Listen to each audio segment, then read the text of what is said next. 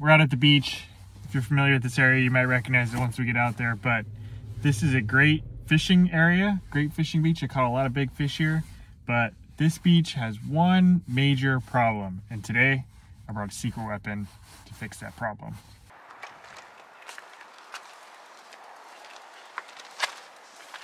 This is the secret weapon. And before anyone asks, no, I did not get a truck, although I would like to get one someday. Still rocking the Corolla. My buddy brought me borrow this one for carrying this guy around.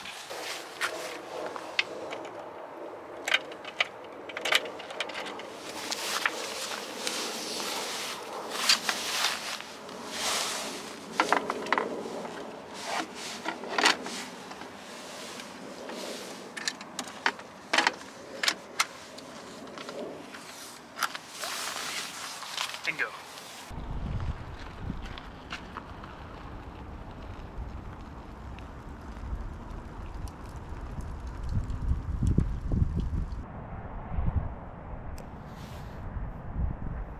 All right, let's fire up and get going. My wife would be happy to know that I brought also helmet provided by Himiway. And let's get going down this hill. So this is the Himiway Zebra long range e-bike. I have the, uh, I think it's called pale green is the color that I have. They have a bunch of different colors. And basically, normally I'd be walking down this whole stretch of little path here.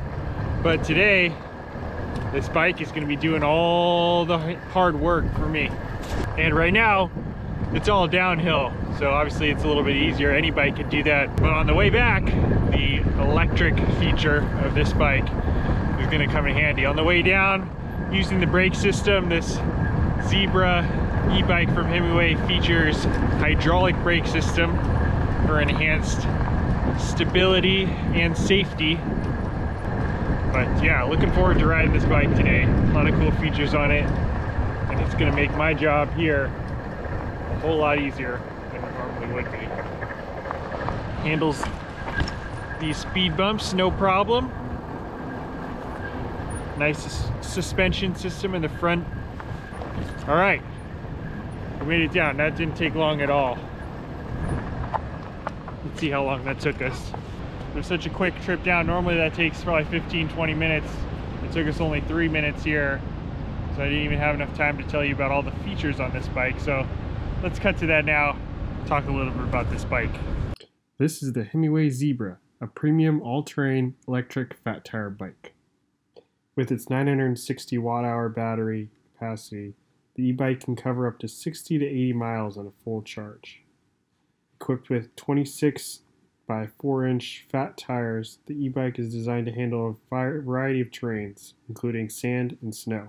This bike is heavy duty and can support a weight of up to 400 pounds, offering convenience for riders of any size. And finally, the e-bike features a powerful 750 watt geared hub motor, providing a smooth and powerful ride. Well, hitting a little bit of a snag here, like I mentioned uh, earlier, this bike features these fat tires, which are perfect for riding it down the beach. So that's what I was planning to do. I was planning to ride it down that way, kind of hit some spots that normally I probably wouldn't go to just because they're so far down the down the beach. But as you'll see in a little bit, the tide is so high that there's no beach. The waves are coming right up to the cliffs here. So I'm just gonna actually leave the bike here and fish right out front right here. I can't even walk down the beach if I wanted to. So you can see here, the waves are just crashing right up on the beach here. So not really very far for me to go, fortunately.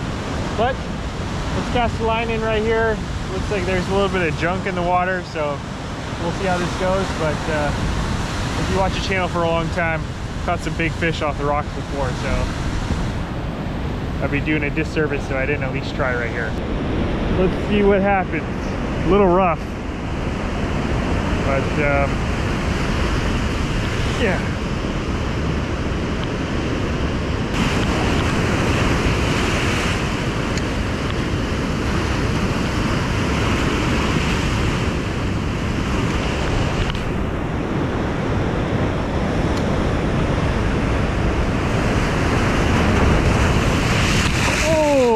Okay, that one got me. Got a little soaked from that last wave, but we gave it a try. It actually doesn't look too bad. There definitely could be fish in there, but I just don't like the fact that I'm confined to this one spot. I like to cover a lot of ground when I'm fishing the beach. So, on that note, we're gonna trek up this hill, use this e-bike for what it's worth, and head on to spot number two. Spot number two should have more beach, so we should be able to use the bike to kind of go down and cover some more water. So, anyways, plan A, kind of a fail, but at least we get to use the bike. I've walked this thing so many times, every time it's the dreaded hike back to the car, but this time I'm actually excited to do it. This is where the fun begins. Oh yeah! This is wonderful. Why have I not done this sooner? Look at that. No pedaling. Just pure electric power.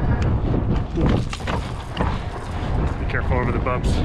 In my youth, I used to be a reckless bike rider, jumping off ramps and stuff like that. I'm surprised I never broke an arm. But now in my old age, gotta be a little more careful. Body doesn't bounce back the way it used to. We're cruising. Right now we're going eight and a half miles an hour, nine miles an hour. That's like at least four or five times faster than we normally would be going up this hill. And I should just come here just to go up and down this hill. So easy. So easy.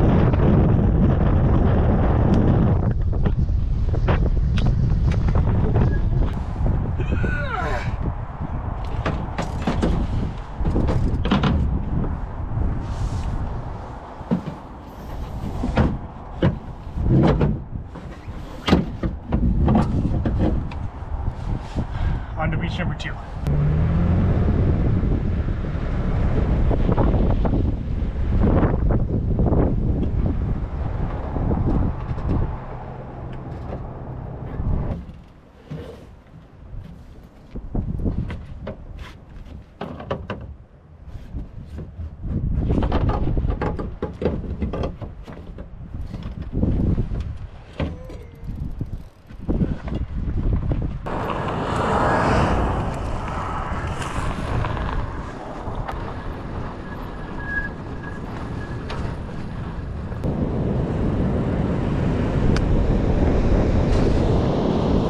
birds. To the E-bike coming through.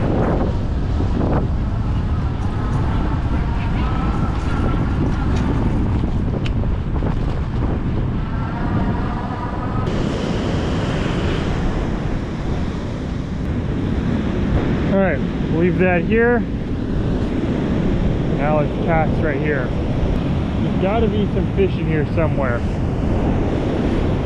Right in here is a good little area. Little calm water right in here. It's kind of rough, you know, out deep, but right in close here, definitely could be some surfers hanging out in there. A little bit rough, but definitely fishable. All right, see if we can find one. Tried this little spot for a while. We have kind of a weird thing going on right now. There's like a, I think it's called an onshore breeze, whatever, whatever it means when the wind's blowing from land out to sea, which can be bad if you're out there, but on the beach it's actually a good thing, especially with this plug.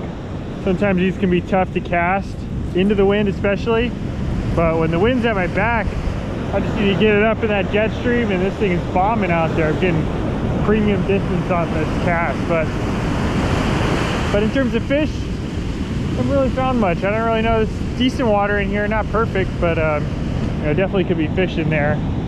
I think maybe when the tide is lower, this spot might fish a little better. I think a lot of the holes in the deeper water where those fish might hang out might be a little bit too far out for this plug at least. So maybe cast or two more and then we'll make a move down the beach, hit the next hole down.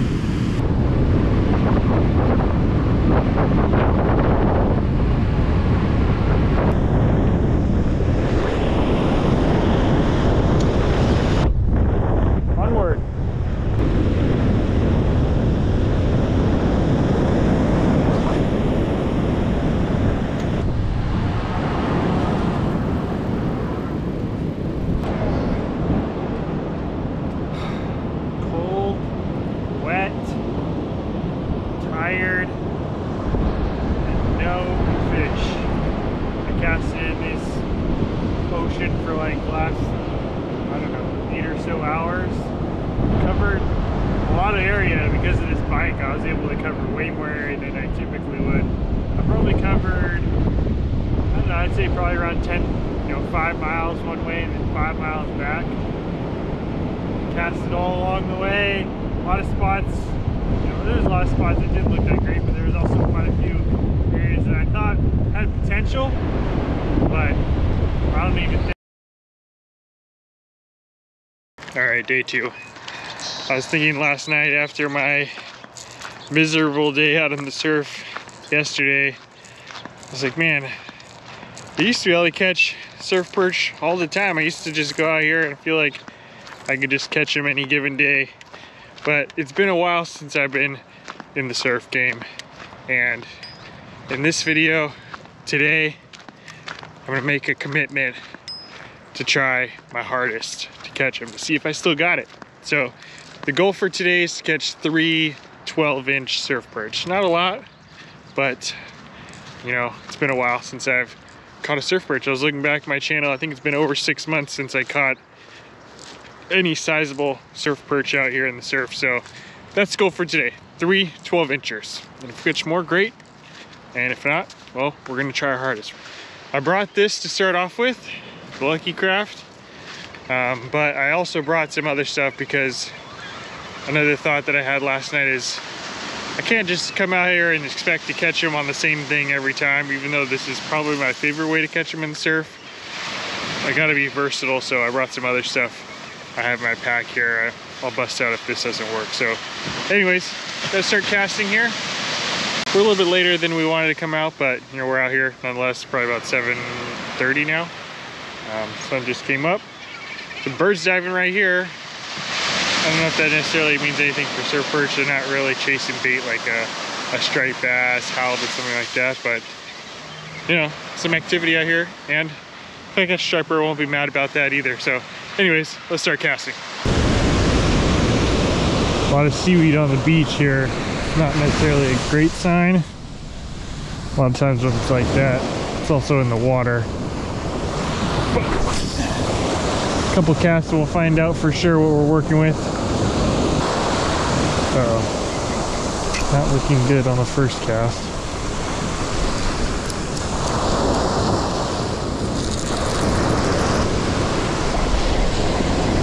Alright, we'll try down the beach a little bit, but initial signs are not good.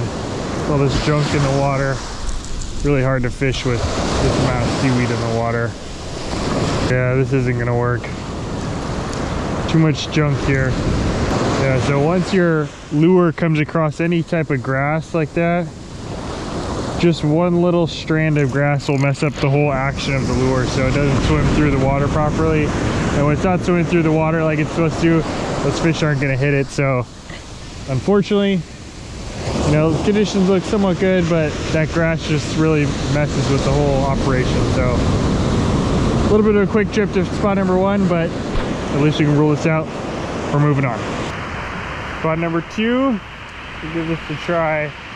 I don't feel as good about this place. It's a little bit flat. I'd like it if there was a little bit of steeper drop off for the fish to hang out in but it's possible they could be in there.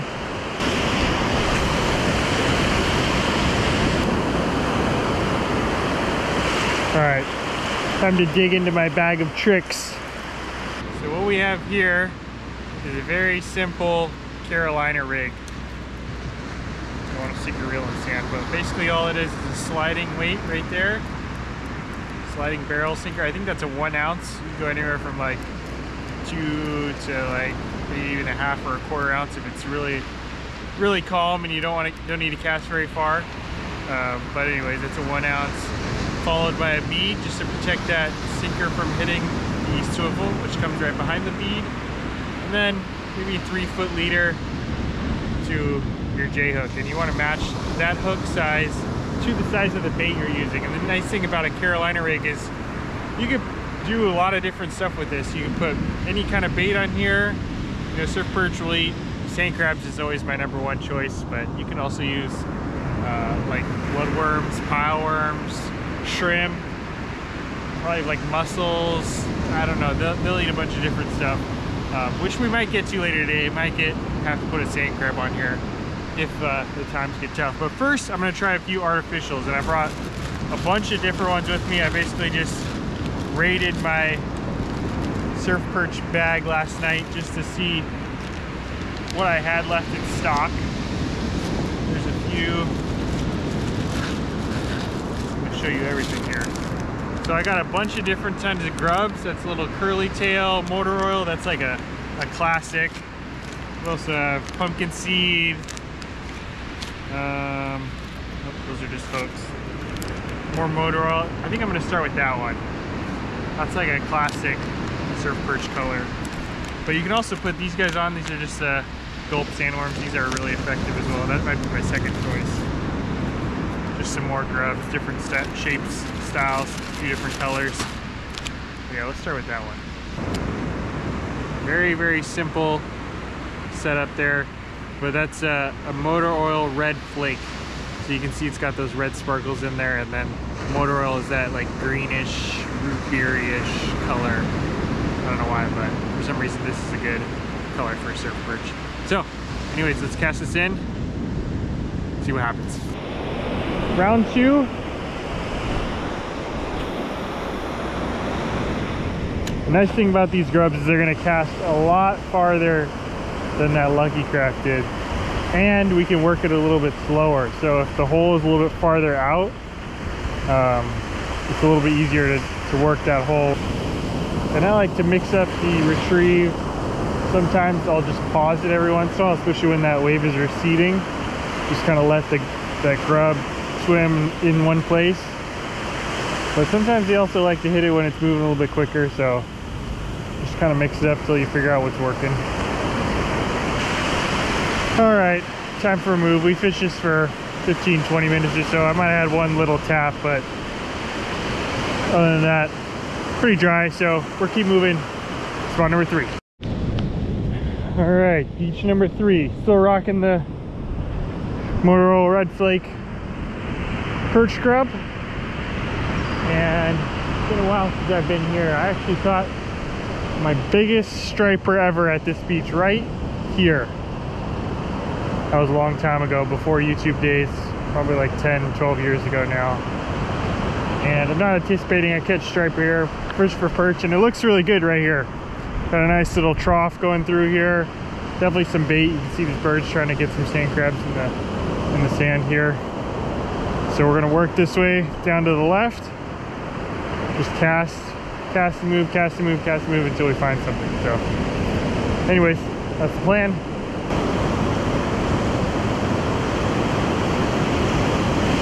There we go. There's a fish. Finally. Not a huge one by any means. Oh my god, it's not even a perch. Uh, Oh, okay, well, guess we can't get greedy at this point. That's not what we're looking for.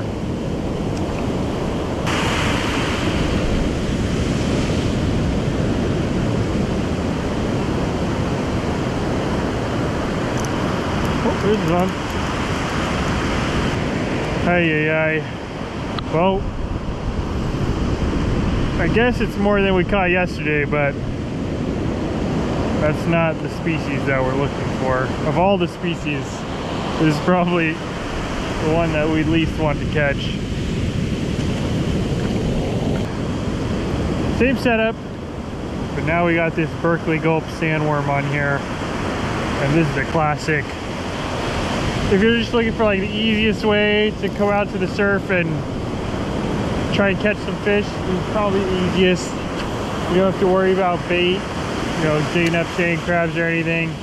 And then also this is very effective. You can even fish this just sitting there. You don't need to move it at all. And those fish will hit it. Oh no. Ay, ay, ay. Once again, not the target species.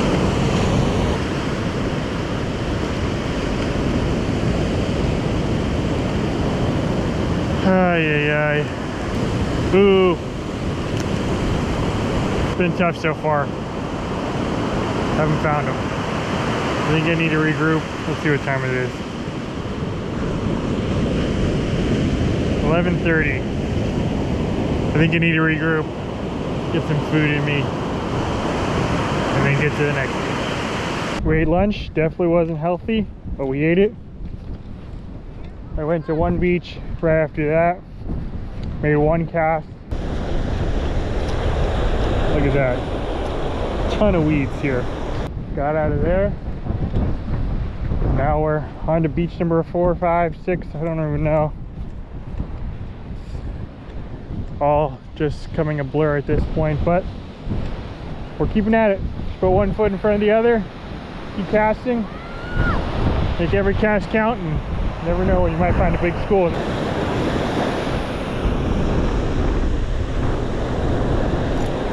Oh, got one. I got one. Definitely not a big one, but it is the target species. That's what two days of grinding in the surf looks like on this round. I know it's not much, but to me, I'll take it. Definitely not a 12 incher. Got some room to grow before that happens. All right, back you go.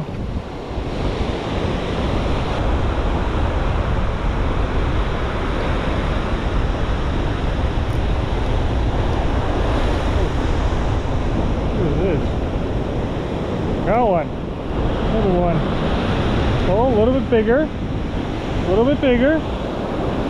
Still not huge, but in the right direction. A little bit better. Probably seven or eight inches. First one was like six.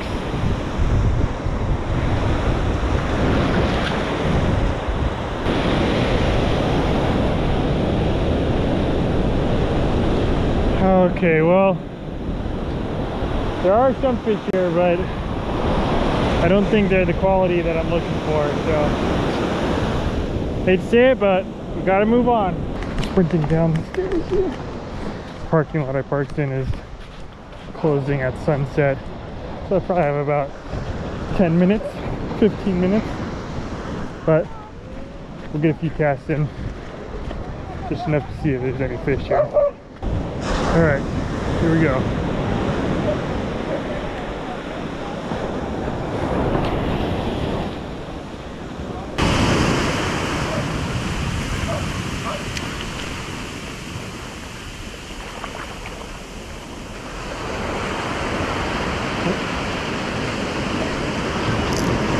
Fish. Third cast fish. Not a big one though. Just a little guy.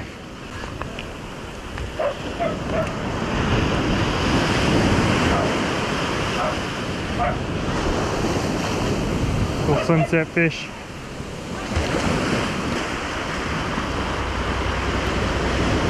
Oh, oh man.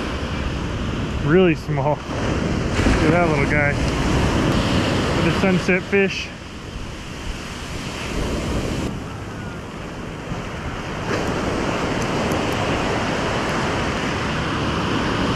One, maybe a little bit bigger. Not much though.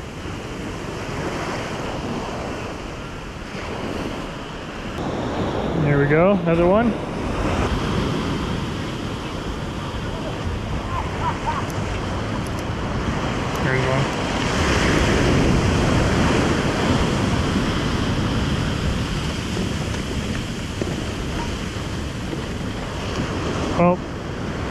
There's a lot of fish in there, but unfortunately, they're kind of small, and you guys right here are trying to body surf these waves, so not an ideal situation here. But I'm gonna keep casting.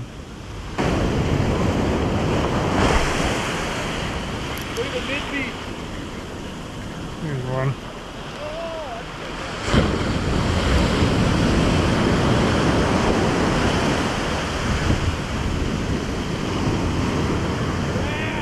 little bit bigger.